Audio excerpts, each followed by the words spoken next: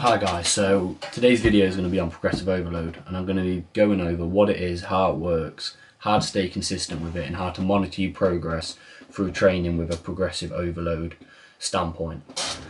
And what pro progressive overload basically is, is to overload your muscles more than the previous session and expose your muscles to a new stimulus to force an adaptation to grow.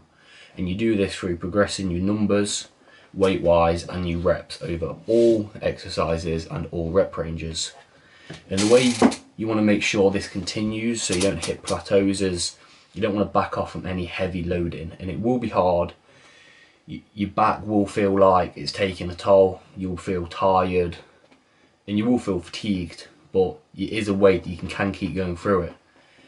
And the most important thing is you don't want to drop any intensity off anything and I know I've done this in the past. For example, when I hit my four plate deadlift just for a rep, that was the goal. Uh, my heavy loading dropped off, wasn't training as hard because I was just because I was slightly less motivated for that exercise, and that's not what you want to do. You want to keep going at everything with a do or die attitude, and that's when over sessions and sessions and sessions the results will start to show. And another thing is you want to train to what you can recover from. If you can go into the gym six times a week and be perfectly fine for your next session, usually it takes me two to three days and I'm perfectly fine. So I train push pull legs, push pull legs, well push pull legs rest, push pull legs, and that worked perfectly for me. And another important thing is you want to allow enough time for all your exercises exercises to progress what I mean by this is you don't want to switch something out too early just because you don't like it, you're bored of it and you fancy doing something else. If you're on a program, stick to the program. And I wouldn't advise switching anything out, full stop, on any rotation. So I don't mean just take one exercise out of your first pull day, but leave it in the second. Get rid of something completely. I wouldn't advise that just until it's basically a worn out movement pattern. You're not getting the stimulus you need from it you're not getting sore and you're just really not progressing, then I'd advise switching something out. And when it comes to monitoring progress, what you want to do is keep all your exercise details the same. And what I mean by this is small changes in exercises can make a big difference to how the muscles hit and how you're going to progress in the long run. So say you have going into a gym, you've got a working set on high bar squats. You're going for six to nine reps. So you hit six, you fail. Next week you go in and you think, oh, that close close squat wasn't as comfortable as it could have been. So I'm going to widen my stance a bit. And after a few sessions, you get wider and wider and wider. Before you know it, you're doing a wide squat over, over a close.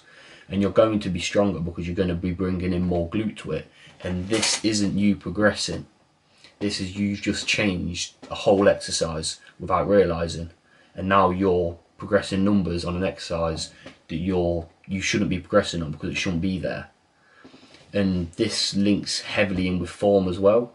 You want to make sure from the very beginning all your reps are slow and controlled just so you can monitor how strong you actually are.